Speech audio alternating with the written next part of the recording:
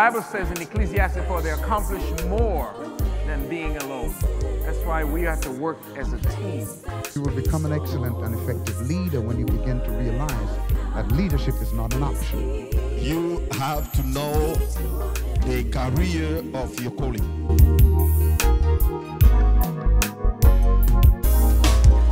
I love you, but I ain't come to celebrate you. I came to celebrate Jesus.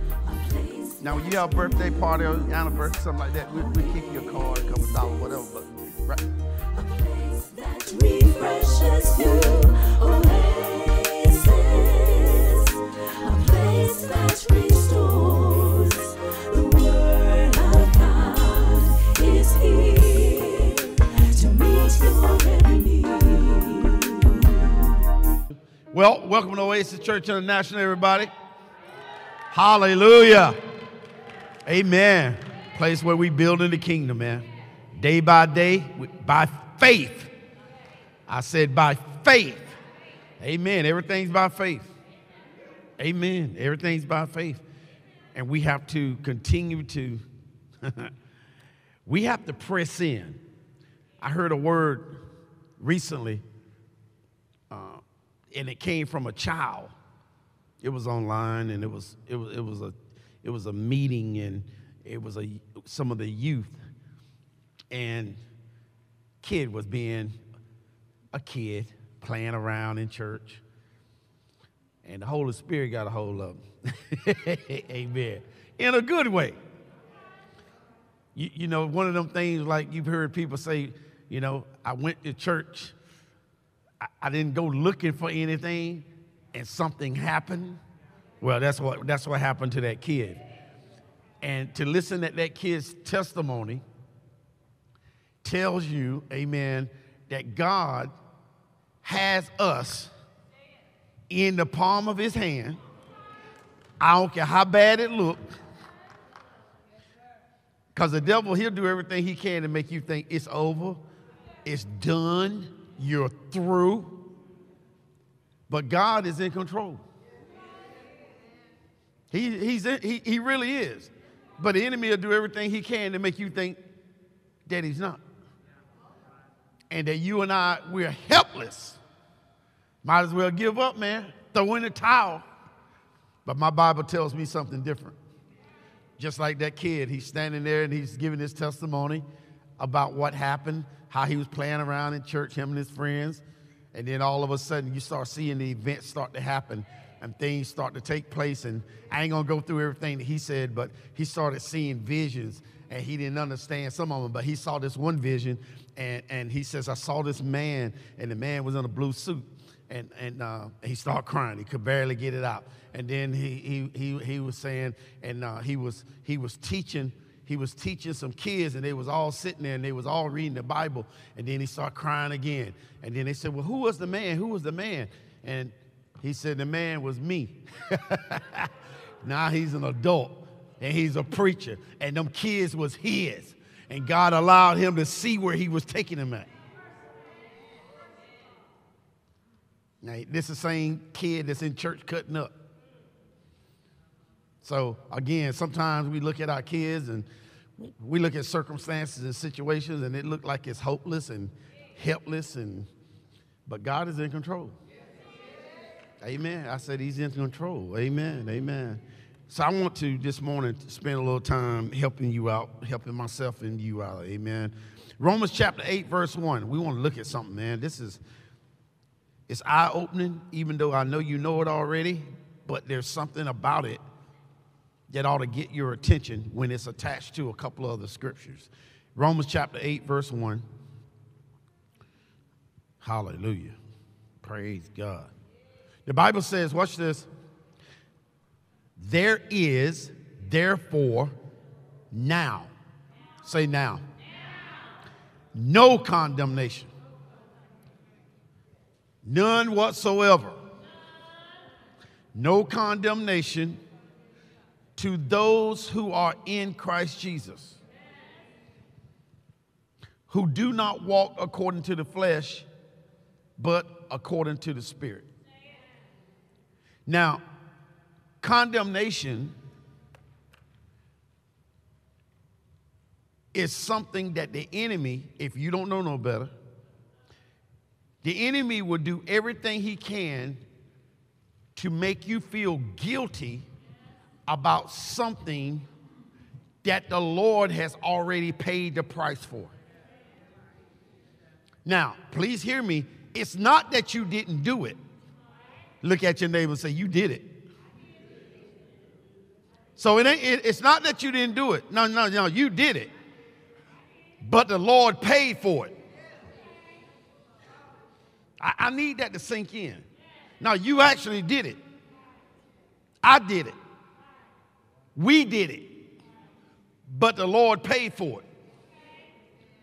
So the scripture says there is no condemnation for those that are in Christ Jesus. No condemnation. There is no guilt. You and I have been delivered from guilt. We've been delivered from shame. But the devil don't want you to know it. Because if he could keep you and I feeling guilty, we are actually sin conscious. And the Bible tells us, in Hebrews especially, God doesn't want us to be sin conscious. He wants us to be forgiveness conscious. Not sin conscious. What was the purpose of Jesus going to the cross if you and I were still going to be conscious of our sin? No, he don't want you sin conscious. He wants you forgiveness conscious. Now, I, I guess I probably ought to, I don't even have this written down. Put, put Romans 8 and 1 up in the NLT. I, I want to look at it in the NLT. And then I'm going to show you something that's real interesting that I just, mm-mm-mm. It says, watch this. So now there is no condemnation for those who belong to Christ Jesus.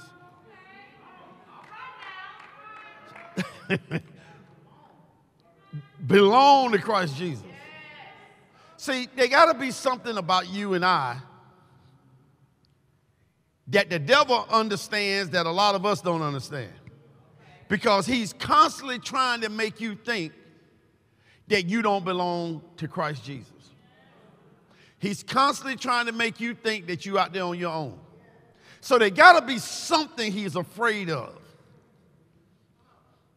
There's something that he is afraid of, which is why he constantly wants you and I to think your sins are not forgiven. Now, I'm talking to you if you're a born again believer. Because, yes, it's a process that we have to go by. Yeah.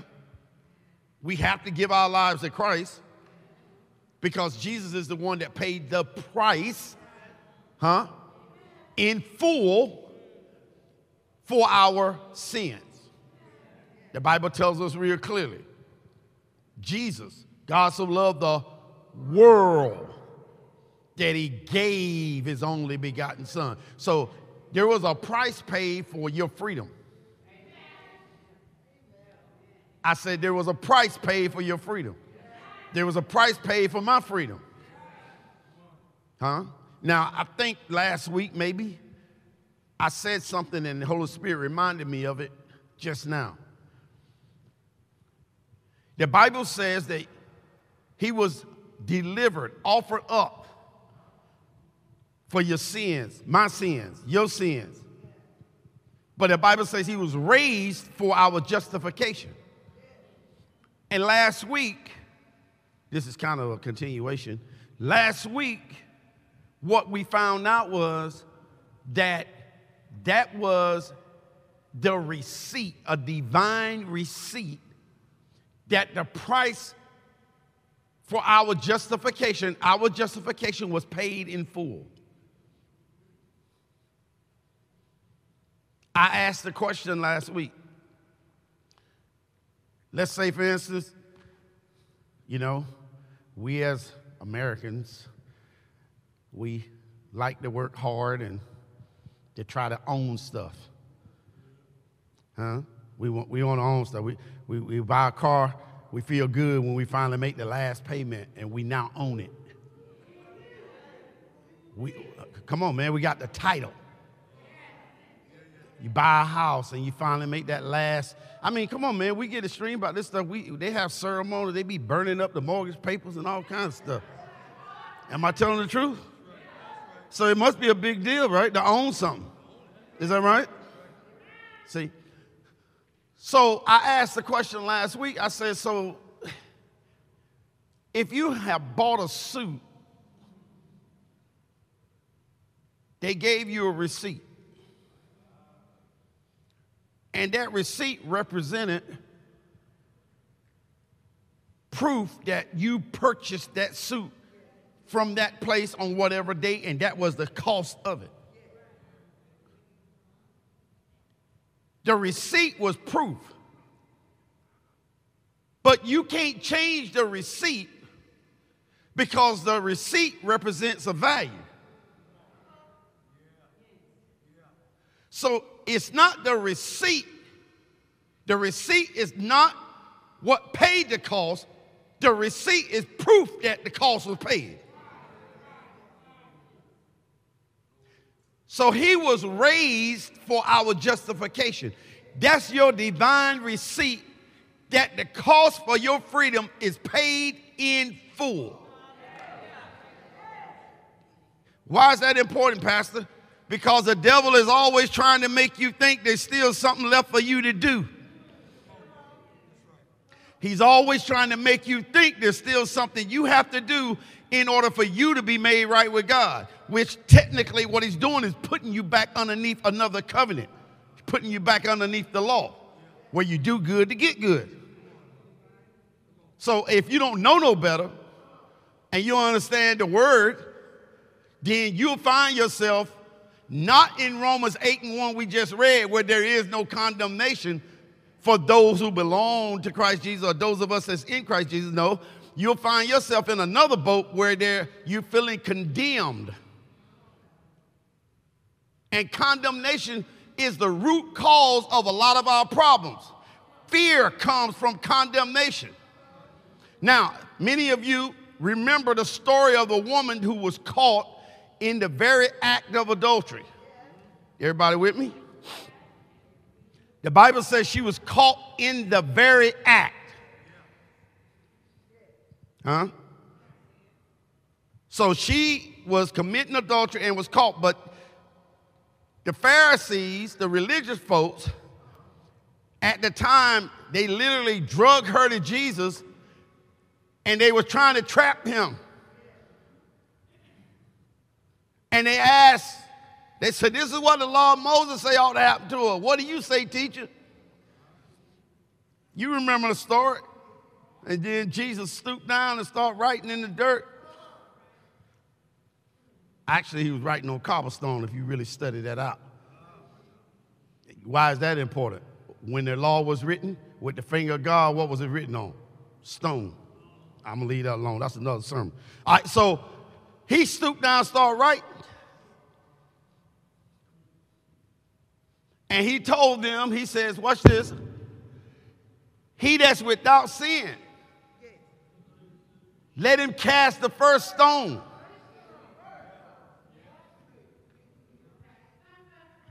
And the Bible said they began to leave out one by one, from the oldest to the youngest.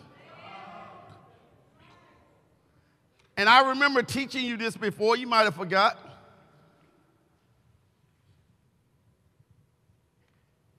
But the Bible says he raised himself up and he looked around and everybody was gone. And he asked the woman, Woman, where are thine accusers of yours? Does not anyone condemn you? And she says, No, my Lord. And this is what I need you to get. And he says, Neither do I condemn you. Now go and sin no more. Why is that so important? Because he just gave her the gift of no condemnation. Now, now, hear what I'm getting ready to say. Out of all them people that was there accusing her, that drug her there and throwed her down in front of the feet of Jesus and said, The law of Moses says she should be stoned. What do you say? And Jesus put him in a situation because he says, Let him that's without sin cast the first stone. He didn't say she wasn't supposed to be stoned. That is not what he said. No, no, no. He said, Let me give you the honor, though. If you without sin, you be the first one to throw one.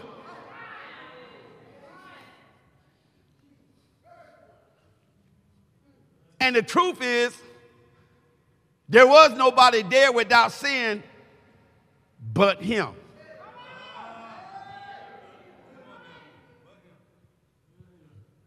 They would if they could, but they couldn't. He could if he would, but he wouldn't.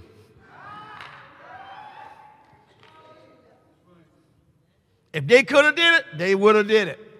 But they didn't, they didn't, none of them meet the criteria. None of them was without sin. So they, they if they if, if, they could have did it, they would, but they couldn't.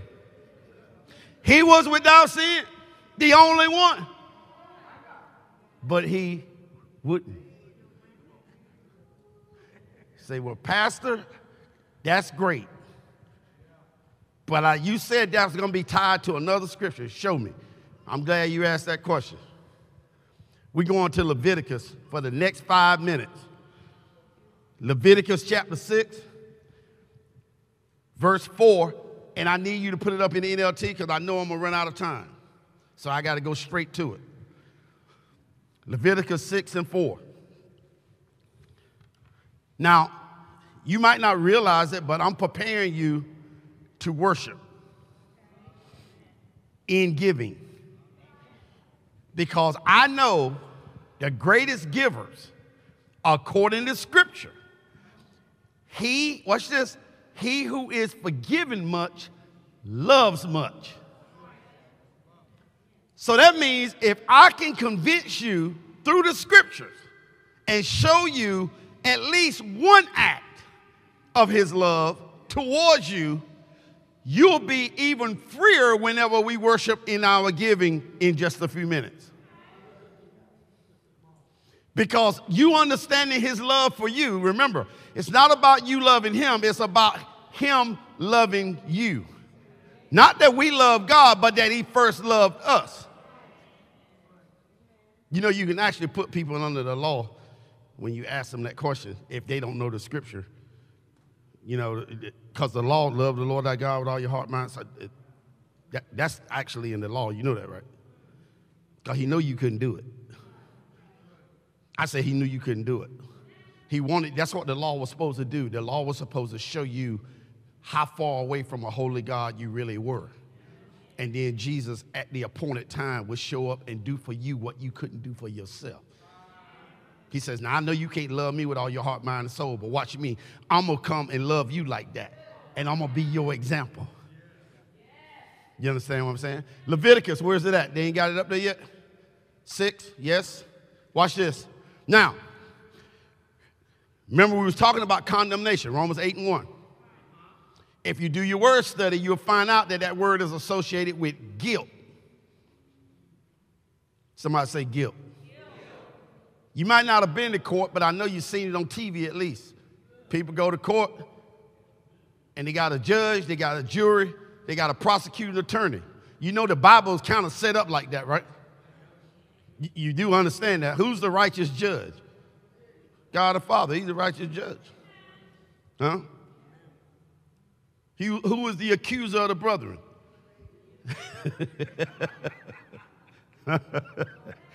Find yourself in court, and whoever's sitting on the other side of the aisle, okay, yeah, Uh, somebody trying, somebody trying to get you convicted. Now, so guilt is what the in court they're trying to prove whether or not you're guilty. Once again, you don't, you don't need to raise your hands. Pastor, I've been to court. I don't need to know that. But one of the first things they do is they read what you did and what you've been accused of. And then they ask you, how do you plead? Now, don't try to be religious on me and say, I plead the blood. Because you know, matter of fact, I wish you go in court and say, I plead the blood, Your Honor. Click up, click up. I can see you getting dragged out of court right now. What they call it, they put you in uh, contempt. You trying to be funny. That's what the judge said. Oh, you, yo, you wise guy, huh? put you in contempt of court. But they ask you how you plead. Guilty or not guilty. So now I had them put this up in the NLT because it translated the words already for you. Got me? It says, watch this now. Now, hey, where we at? Leviticus. That means we in the Old Testament, right or wrong. Hmm? Okay, watch this. It says, verse 6, as a guilt offering, say guilt offering, to the Lord, you must bring to the priest your own ram with no defects. Say no defects. Or you may buy one of equal value. So, in other words, you're bringing a ram that has no defects. Hmm? I got to make sure you're in the right place. Six and four, verse four. I knew something didn't right. All right, here we go. If you have sinned in any of these ways, you are guilty. Stop. See, I needed to get to the point where you can't get out of this. Remember earlier I said, look at your neighbor and say, I did it? You did it. Now you did it. You now you did it. The Bible say you did it. You don't even know me, sir. I ain't got to know you, but I know you did it. Because the Bible say you did it. I did it. You did it. We did it. So let we we gotta get past that first. Because you can sit up there and keep saying you didn't do it. But if God, the righteous judge, say you did it, you did it. He says, so if you have sinned in any of these ways, you are guilty. Now I ain't gonna tell you what you gotta do. Watch this. you must give back whatever you stole, or the money you took by extortion, or the security deposit, or the lost property you found. What do you mean lost property I found? I found it. Huh? Finders, keepers, losers, weepers. That your law. That ain't what God say. You can't find a man wallet out there in the parking lot. And that big got a big old ID card in there, our driver license, tell you exactly who he is, where he live at. And you gonna keep the $40 that's in there and then turn the wallet in with no money in it. But they ain't like you that. Messing up my stuff. That's why you got to know what the Bible say. Because people will tell you, you ain't did nothing wrong. You ain't steal it. Yeah, you did. They call that stealing in the Bible.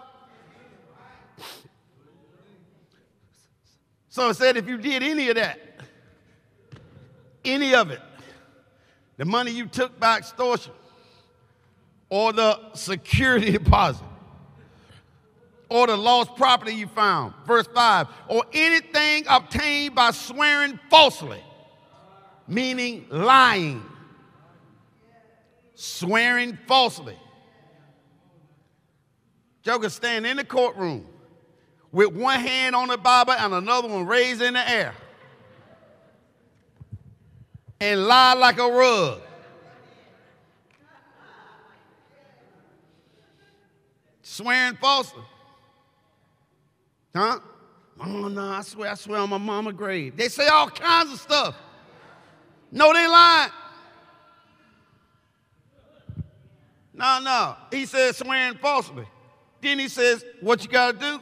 Mm-hmm. You must make restitution by paying the full price, say full price, plus an additional 20% to the person you have harmed.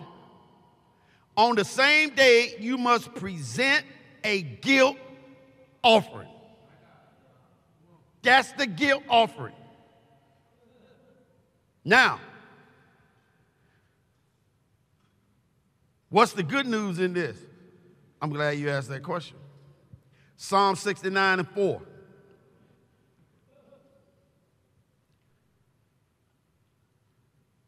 And I'm going to uh, ask you to put that other in NLT also. Psalm 69 and 4. Full value plus 20%. My math tells me that's 120% that you have to pay back. So if you took something wrongly, any one of them sins, you have to bring a ram without blemish. It's a guilt offering. Can't be nothing wrong with it. You got to restore to that person that you injured or you stole from 100% is full value. That would be 100% plus an additional 20%. That's 120%. So if you stole something from your brother, you got to repay it 120%. Need a calculator? Now watch this. Watch this. Psalm 69 and 4. I ain't got time to go through all of this. I just want to go through enough of this so that you don't feel guilty no more. The Bible says, Those who hate me without cause outnumber the hairs on my head. Those who hate me without cause, they don't have a reason to hate me, they hate me without cause. Put up the next part. That's just part eight of this. It says, watch this. Many enemies try to destroy me with lies. Put up the next part. Demanding that I give back what I didn't steal. Demanding that I give back what I didn't steal. Jesus says, I didn't take it, but I must restore. Now, real quick, New King James Version, same scripture. Please, got to go quick. I'm out of time. It says, Those who hate me without a cause are more than the hairs of my head. Next part. They are mighty who will destroy me. Next part. Being my enemies wrongfully, though I have stolen nothing, I still must restore it. Jesus said, I didn't take it, but I must restore it. Now, you took it, you did it, I did it, we did it, but Jesus says, I didn't do it, but I must restore. In other words, the price was paid. There is therefore now no condemnation, no guilt. There is therefore now no condemnation for those who are in Christ Jesus. Why? Because Jesus went and paid the price to restore you and me. Listen, he restored back to the Father what was taken. He restored back to the Father everything that was wrongfully taken. Even though he wasn't he was not the one that did it, he says, I still must restore. So he returned back to the Father. Watch this now. He returned back to the Father everything that was taken, taken plus 20%. Remember? Full value plus 20%. So how does that help you? First of all, it gets you off the hook. Second of all, is there anybody in here that have not had anything taken from them ever before? Yeah, you have, and I know you have. Okay. Well, even though the devil have lied to a whole lot of Christians and told you God was the one did it, according to the scripture I just read, he says, I didn't steal it, but I must restore. Jesus ain't the one that took it. God ain't the one that took it, but Jesus was the one that came to restore it. So tell me whatever it is the devil has taken from you. Jesus came to give it back full value plus 20%, which is 120% restoration. Honey, it might be your health, it might be your children, it might be your marriage, it might be your finances. I don't know what it is, but he says, I came to give back full value plus 20%. He says, I didn't take it, but I must restore.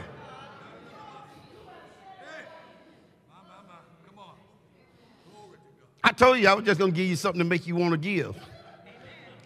Because when you understand how much has been given for you, the price that was paid for you, huh?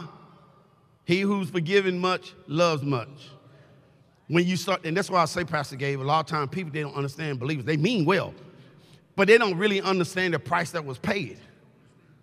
And therefore, they they worship based off what they understand. See, and, and, and, and that worship, you shortchanging because God is so much better a lot of times than what you understand. And that's why it's so important we in church and we hear the truth so that we understand what the price, the price that was paid and how valuable it was. So I can look at my life, I don't know about you, and I can see a whole lot of something now that I know what the Bible say. And I realize it wasn't God that did that to me. It wasn't God that took those things from me. Hmm? Even remember I had you earlier do the exercise where you look at your name and say, I did it? No, no, no. Even the stuff that you did.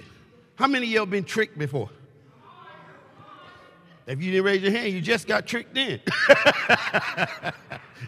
you got tricked in. Everybody in this room been tricked before. It's called deception. And the devil is the master deceiver. I didn't take it, but I must restore. 120% restoration, much more. That's the God we serve. Amen. And he wants you restored 120% in every area, every area of your life.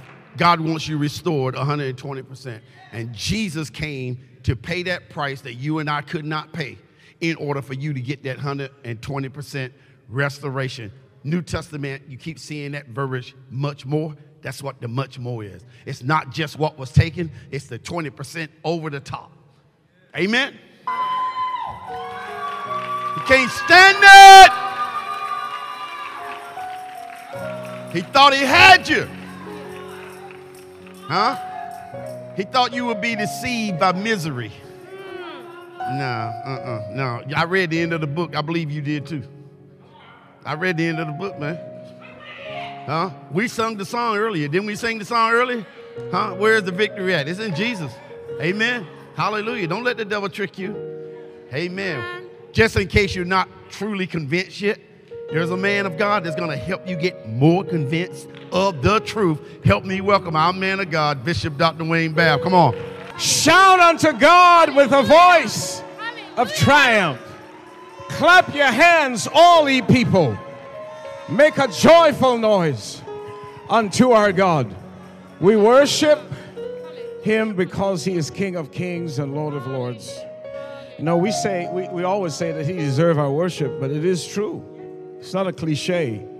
You get what you receive from God because you know how to worship him. Worship is bowing the knees, and praise is lifting the hands. We bow our knees before Him.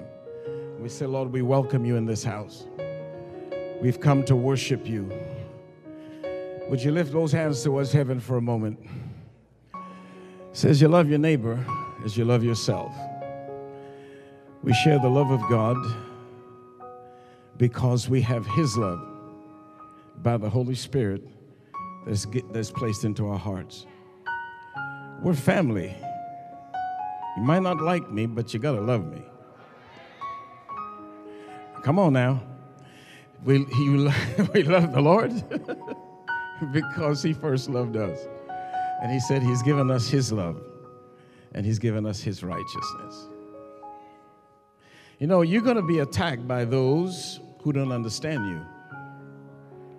The moment you make a decision to follow after God, hard after God, you're going to turn some people off. Are you listening to me? The very ones who accommodated you and loved you and talk well about you. See, we have to love the things that God loves, and we hate the things that He hates. And we cannot compromise the Word of God. It is the only source of change that can happen, not just in our nation, but in each and every one of our individual lives. It's the only thing that can change a man, change a woman.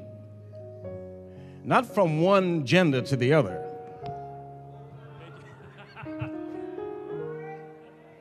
But He changes you from death to life. He said the life, the Bible says that God have life in him and he's given his son to have life in himself. He said, They that have the son have life. They that have not the son doesn't have any life. And we found out that life, the eternal life, is the quality of life that lasts you until eternity. So when the Bible says everlasting life, it begins, we have a present possession of everlasting life. It doesn't happen when you die, it starts the day you say yes. These children need to know this. The day they say yes to Jesus, everlasting life began. Because it's not about time, it's not about distance and time, it's about quality. And that's what that word means everlasting life. That phrase is the quality of life that God gives us that lasts forever. Just because it's so great a life that God's given unto us. Amen? I said, Amen. So don't worry about what people say about you. Stand your ground, say what God says, and God will defend you. We don't have to defend God, God will defend you. He'll defend me. We just keep saying what He says.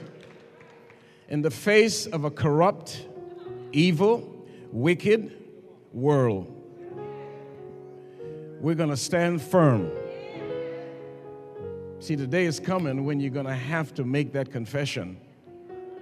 When you're going to have to make that confession in the face of danger, and sometimes even the face of death or life. Are you ready for that? Are you ready to say, I don't care what you do? Me, to live is Christ, to die is gain. So if you're going to kill me, go ahead and kill me. I'll be better off. Paul said it's far better. He didn't say it was better, he said it's far better to be with the Lord. But we're not going anywhere. We've got to testify of the goodness of God. We've got to declare His goodness to the world and let them know that the word is still true. It's everlasting. I said it's everlasting. Psalms. Now, now let's let's let's go ahead and read that psalm, the hundredth psalm. We're gonna read it together. Come on. We're gonna read that together. See, I, I, we read this because we get to that last phrase where it says, His word is everlasting, endorsed to all generation. I want us to read it because you know, you have to confess the word because you, you'll never possess what you can't confess. And you have to constantly confess means to agree with. Everybody say agree with. You- know that's what confess means to say the same thing and to agree with. So we're not going to agree with what they say, we'll agree with what he says. And so here's, here's uh, the, the psalmist David is making such a declaration when he said, We'll bless the Lord. Our soul, everybody say, My soul. That's your mind, emotion, and your will. When we say we bless the Lord, our soul bless the Lord, we give him all of us, all of who you are. So Psalms, the 100th Psalm, the 100th Psalm, and beginning in that first verse, let's read it together. Can you put that up there? We'll read it, and we're reading it together from the New King James. Uh, uh, we have, okay. Are you ready? One, two, three, read. Make a joyful shout unto the Lord, all ye lands. Serve the Lord with gladness. Come before his presence with singing. Know that the Lord, He is God. It is He who has made us and not we ourselves. And the sheep of His pasture. Enter into His gates with thanksgiving and into His courts with praise. Be thankful to Him and bless His name. Why? For the Lord is good. His mercy is everlasting, and his truth endures to all generations. Shout hallelujah, somebody. His truth endures to all, all generations. Oh, it doesn't change. Doesn't change. He's the same yesterday, today, and forever. God doesn't change. Uh, uh, what does that mean? It means that you can count on him. He said, he said he'll never disappoint them that put their trust in him. How many of you trust the Lord this morning? I'm going to turn to the scriptures. I know I don't have much time left. Somebody says, well, what does that mean? no, seriously, we don't, we don't take a whole lot of time because I, I just believe in my spirit that God wants us to pray for those who needs prayer this morning. And, and, and we won't be long. We're just going to go right to it and believe God to restore your health. It's one thing to ask for divine healing, but it's another thing to live in divine health. Are you listening? I was talking, how many of you remember uh, Sabata or Sabata? Is how they pronounce it in, in uh, Botswana. Come on, let me see your hand. You remember? All right. She hadn't been with us for several, we, just, we spoke on the phone yesterday for a while, and so there's going to be a, a reconnection. But um, she was telling me that in the, in the church there at, in Botswana, there's so many people that are moving, just moving from one place to the next, jumping from church to church, because they're looking for miracles. They want signs, they want prophecy. But she said to me, she says, I remember everything that you have taught us. And we're staying focused on the Word of God. And we will keep preaching and teaching the Word. As a result, she said, our church is growing. Hallelujah. God is moving, says great things are happening. And so petition to come and just to, to revisit and bless the people.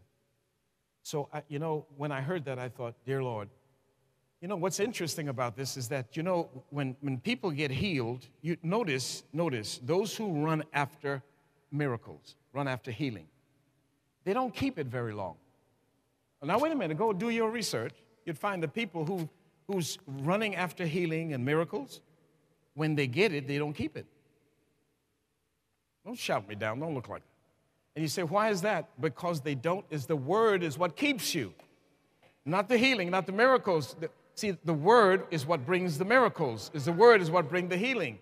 So if you don't have the word, you'll lose your healing. And you can lose your miracle. And you know what happens? You come right back in line to get another one. And then when that's over, you come back in line the next time to get another one. And it constantly, no, no, when you get the word. That's why the Bible said, Whom the Son makes free is free indeed. And the scripture teaches us, it teaches us that when God gives you something, it's permanent. But it takes His word to keep it. Because you've got to have a revelation of His word to keep what God gives you. So I was very, very impressed with her and what the ministry there is doing. And I thought that was that just a great, great testimony. Great testimony. You don't want to lose what God gave you. The word is what's going to help you keep it. Because it is the word that's everlasting, by the way. He said, Everything will pass away, but not one jot or tittle of my word will pass away. That lasts forever. Won't you like to ride on something that lasts forever? Well, by the way, that's the Word of God. So I'm just going to take a few moments because I believe there's, there's some of you in here uh, this morning that needs a touch from God. You know, we last week when, when the children were baptized and we talked about baptism, but there in Hebrews, the 11th, uh, the sixth chapter, where it talks about these, the elementary principles, the doctrine of Christ. One of the doctrines of Christ was laying on of hands. And I know much of the church had denied that and said that is not for today. That was back in the apostles' days. But the same is true today as it was then, because the word never changes. Because he said, You that believe will lay hands on the sick and they shall recover. It is not up to us to recover you, it is up to God. It's up to us to do what he says, and then the rest of it belongs to God. But then it is depending on your faith. Do you believe it or don't you believe it?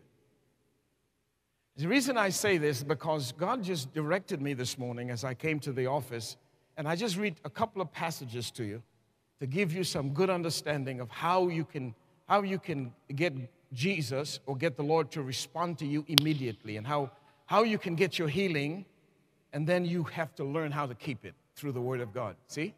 Amen. So I just had a couple of examples uh, uh, uh, as we read in Matthew the 16th chapter, Matthew and 16 you, everyone knows this story in verse beginning in verse 21 it says then jesus went out from there and departed to the region of tyre and sidon and it says and behold a woman. You know this we know this right? Don't, don't turn it off. Don't get turned off because you know the story. Because you start listening to it again and you just get some insight that you haven't seen before. Revelation says what? And behold a woman a woman of what? Of canaan. Remember canaan is not covenant people. What they call them half Jews. They're not covenant people. The Canaanites. You remember the Canaanites in the Old Testament? This, this is the descendants of the Canaanites. So, see, he said a woman of Canaan had nothing to do, absolutely nothing to do with the children of Israel. He said a woman of Canaan did what? Came from that region and did what? And cried out to him, saying, have mercy on me, O Lord. Notice, notice she called him Lord, right? She's not a, she's not a covenant Jew. She said, O Lord, son of David, my daughter is severely demon possessed. And verse 23 says, But he answered her not a word. In other words, what does that mean? It means he ignored her. Look up here. Everybody, look up here for a moment. Imagine here's somebody requesting something from Jesus, and he absolutely ignored her. He never responded, didn't say a word to her. How'd you like that to happen to you? Seriously, how'd you like that to happen to you? I mean, you got a problem when you ask me something and I ignore you. Could you imagine? I don't, I don't take, make it a habit of ignoring anybody. If somebody told you that, tell them it's a lie. He said, let's go back, let's go back. He said, He answered her, cried out to him, Have mercy on me, O Lord, son of David. My, my daughter is uh, severely demon possessed. Verse 23, once again. But he answered her, Not a word. That's important to underline that phrase, not a word. He says, And his disciples came and urged him, saying, Send her away, for she cries out after us. Why does they say this? Because she's, she's not a covenant, she's not a Jew. Send her away. Verse 24. But he answered and said, I was not sent except to the lost sheep of the house of Israel. I'm not here for her or them. I'm here for the lost sheep of Israel. I'm here for the Jews. And verse 25, 20, 25. Then she came and worshiped him, saying, Lord, help me. Verse 26. But he answered and said, It is not good to take the children's bread and throw it to the little dog. There's some harsh words in it. It's not good to take the children's bread and throw it to little dog. And she said, But yes, Lord. Yet even the little dogs eat the crumb which fall from their master's table. She not only called him Lord, she's calling him master. What does master mean? Owner. And verse 28 Then Jesus answered and said to her, O woman, great is your faith. Let it be to you as you desire. And her daughter was healed from that very hour. How in the world did she get him to change his mind? How did she get him to change his mind when he says, Healing is the children's bread? This belonged to the children. Hmm? How did he get her to change? How did she get him to change his mind and gave her what she requested? Well, you know, I've taught on this before a- on a different subject, but the answer is right in, you, in our face, right there. Hmm. The answer is in verse 25. Remember now, Jesus ignored her the first time she approached him, and now she came back and approached him again. But in verse 25 it says, Then she came and did what? She came and did what?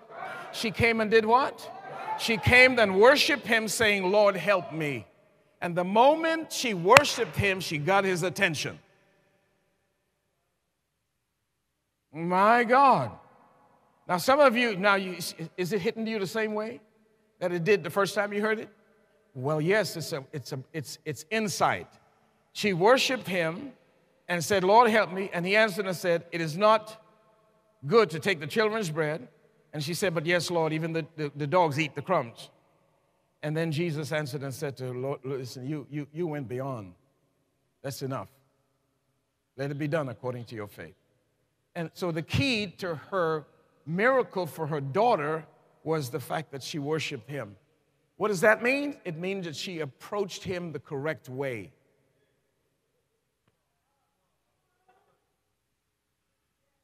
So if you want to get something from God, you got to approach him correctly. If he's King of Kings, if he's your king, you don't jump de- before royalty or the throne and demand or request anything. You need the scepter of righteousness, you need a welcome. If he is King of Kings, we have to approach him the right way. Now, I told you the story before. I've been in countries and still, even uh, recently, that they still have uh, monarchies where there's one person ruling, a king. And, and we're told that if you're going to come, in fact, one time I've been invited to go before the king just to, to meet, because I knew his, um, I knew his daughter's husband and they she was at the same church and they invited me but we never get to go see him. But then they they give you they instruct you before you go there this is how you enter that the throne room. It says you don't you don't just walk in there and you got to make sure that you're dressed correctly you can't come in there with jeans cut off jeans and hole in your jeans and t-shirts. It said you dress correctly. But here is here's a, here's an earthly king. Says when when they approach him they get on their fours. They come in on all fours. Until he says, Rise, till he gives them a nod so they can stand before him. Because they're entering a place of royalty. Well, if they can do that for a natural, for an earthly king, see, that enter on fours is a, is a form of worship because they're not worship him as Lord, but they recognize the royalty. If you can do that for an earthly king. So we enter, we enter and just demand things from God. God, I need this. God, I want this. You know, when, when Jesus taught them to pray, he didn't ask for daily bread at the beginning. He didn't say, ask the Lord, Father, give us this day our daily bread. No, he says, when you when you get before him, you say, Our Father, and then you acknowledge his name. You're Jehovah Jireh, Jehovah Rapha, Jehovah Nisi, Jehovah Tsidkenu, and you tell him all you know of him. And that takes time. And that's the proper way to approach the King of Kings. I said to you before, this is why we dress up on Sunday morning. They, what, you know, churches do whatever they want to do. But we believe if you're coming before royalty, you put on your best. Don't shout, not to look at each other, but to look at his face, and so that he can, uh, he can accept us, even with our dress wear. It's not, it's not just for banquets, special occasions. You don't put on your best to banquets and special. You put on your best to come before royalty. Yeah, you might as well say amen. It's the truth. So I want you to think about all of a sudden, this woman did the right thing. She approached him correctly, and when she did, she got his attention. She didn't get it the first time because she just came and said, This is what I want. So when you go into your prayer closet, you don't just tell God what you want.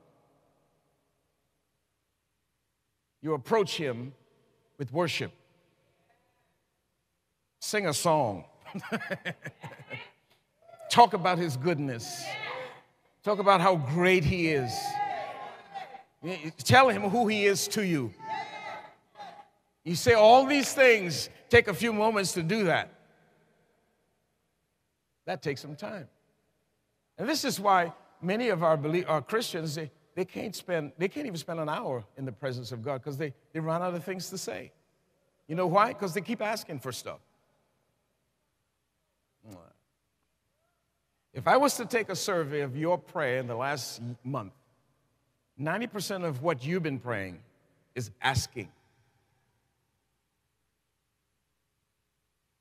You look so sad. This is supposed to be a good message now. Huh? Well, think about it. So when you get in the, when you get in the, the closet, when you get in that place, you worship him, you talk about his goodness, who he is to you, what he is to you, and you spend a few moments exalting him and speaking of his goodness. Hallowed be thy name. That's what that means.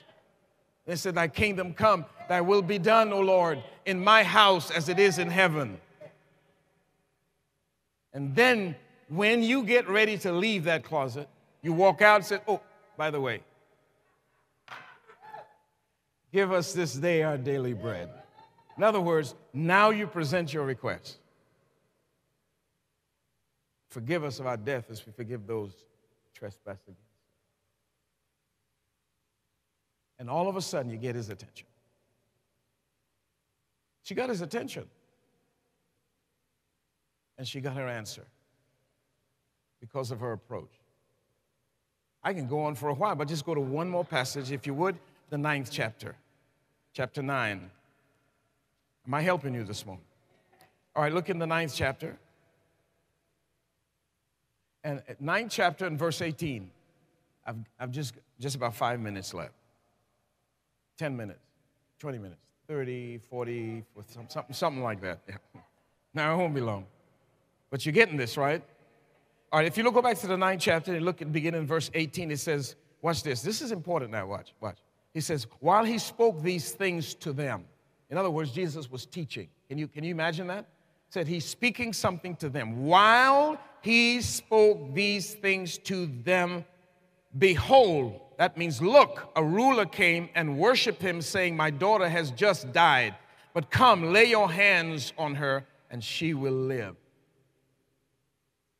Jesus arose and followed him, and so his and so did his disciples. We stop there. The emphasis in the middle of his preaching, in the middle of his teaching, somebody came, not just made a request, he came and worshiped him and then made his request. In the middle of his teaching, he stopped because he got his attention. In the middle of his teaching, he stopped and followed him.